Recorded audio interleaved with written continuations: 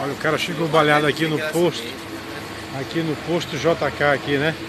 Na JK, o cara chegou baleado aqui, tá sendo atendido ali. Tá sendo atendido ali na ambulância.